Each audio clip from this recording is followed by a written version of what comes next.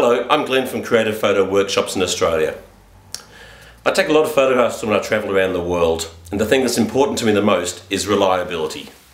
Reliability that I don't lose a single image, and that's what I get out of my Hoodman cards. I want them to, hold my images, keep my images, and never lose a shot. But you know what? Sometimes in a hurry, I want my photos fast, and that's when I go for steel, real steel, like blue steel.